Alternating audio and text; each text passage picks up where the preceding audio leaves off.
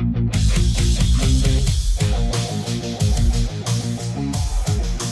இப்பதான் படம் பார்த்துட்டு வந்தேன். ஆக்சுவலி படம் ரொம்ப சூப்பரா இருந்துச்சு. ஒரு கிரைம் த்ரில்லர் இதே நான் வந்து வேற லெவல்ல பண்ணிருக்கேன். ஸ்கிரீன் பிரசன்ஸ்ல வேற லெவல்ல இருந்துச்சு.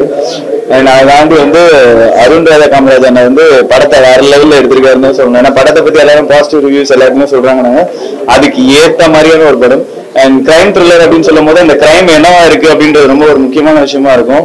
அது ரொம்பவே இன்னைக்கு ரொம்ப தேவையான ஒரு விஷயம். அது எப்படி சொல்லணும்னா ஈக்குவாலிட்டி அப்படின்றது தான் ஒரு மேஜரான ஒரு பார்ட்டா இருந்துச்சு. ஸோ கண்டிப்பா வந்து படம் ஃபேமிலியோட எல்லாருமே பார்த்து என்ஜாய் பண்ணலாம்.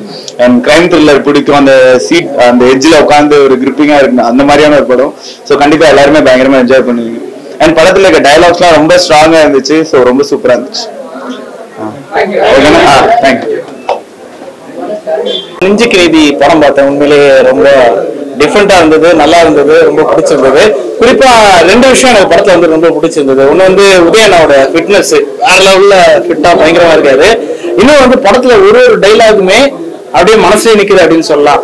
குறிப்பாக குறிப்பா ஒரு டைலாக் வந்து வரும். அதாவது எல்லாருமே ஈக்குவல்னா யார் ராஜா அப்படின்ட்டு. எவன் ஒருத்தன் எல்லாரும் ஈக்குவலா நினைக்கிறானோ அவன் தான் ராஜா அப்படிங்கிற மாதிரி டைலாக் இவ்வளவு நாளா வந்து நம்பி ஏமாந்துட்டு இருந்தோம். இனிமேல் ஏமாற மாட்டோம் அப்படின்னு நம்புவோம் அப்படிங்கிற அந்த டைலாக் அண்ட் அதே மாதிரி வந்து பாத்தீங்கன்னா ஒருத்தர் வந்து மொழியை கத்துக்கணும் அப்படின்னு நினைக்கிறது வந்து ஆர்வம். ஆனா கத்துக்கிட்டே ஆகணும் அப்படின்னு நினைக்கிறது வந்து ஆணவம்.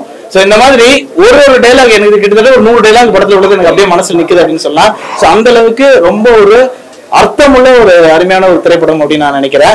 அண்ட் uh, அதே விஷயம் சொல்லணும் அப்படின்ட்டு நினைக்கல. ஏன்னா படம் பார்க்காதவங்க டெஃபினட்டா படத்தை வந்து தியேட்டர்ஸ்ல போய் வந்து பார்க்கணும். அந்த அளவுக்கு ஒரு அமேசிங்கான ஒரு பியூட்டிஃபுல்லான மூவி கண்டிப்பா எல்லாருமே பார்க்க வேண்டிய ஒரு movie must must watch movie Nenjukku Needhi so கண்டிப்பாக பாருங்க. தேங்க்யூ uh, எல்லாருக்கும் வணக்கம். சோ இன்னைக்கு வந்து uh, நெஞ்சுக்கு நீதி படத்துக்கு தான் வந்திருக்கேன். Uh, ஒவ்வொரு படமும் வந்து நம்ம மனசுல வந்து ஒவ்வொரு சில விஷயங்களை வந்து பதிய வைக்கும். ஒரு படத்தை வச்சுதான் நம்ம வாழ்க்கையில நிறைய விஷயங்கள் நம்ம யோசிச்சு பார்த்தது உண்டு.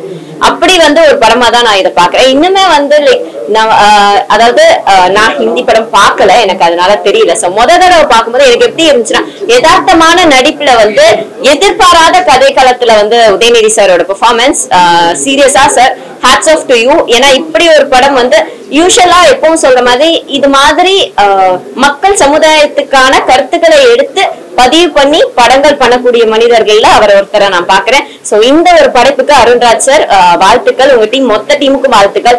ஆரி அண்ணனா இருக்கட்டும் இல்ல சுரேஷ் தாத்தாவா இருக்கட்டும். அதுல இருக்க ஒவ்வொரு கேரக்டர்ஸும் அவங்களோட தனித்துவத்தை வெளிப்படுத்தி வந்து பண்ணிருக்காங்க லைஃப் லாங் ஆர்டிகல் பிப்டீன்னா என்ன அப்படின்னு கேட்டா நம்ம தமிழ்நாட்டுல எல்லாரும் சொல்ற அளவுக்கு அமைஞ்சிருக்க படமா தான் நான் இதுல பாக்குறேன் அண்ட் இமோஷனலா ஒரு கனெக்ட் ஆகி நம்ம போய் படுக்கிற வரைக்குமே வந்து இந்த படத்தோட நினைவுகள் வந்து நம்மள யோசிக்க வச்சுக்கிட்டே இருக்கும். சோ மொத்த டீமுக்கும் ஒரு மனமார்ந்த வாழ்த்துக்கள். இந்த படத்தை மறக்காம கண்டிப்பா தயவு செஞ்சு தியேட்டர்ல போய் பாருங்க. ஒரு நல்ல படம் பார்த்த திருப்தி எல்லாருக்கும். நன்றி. ohne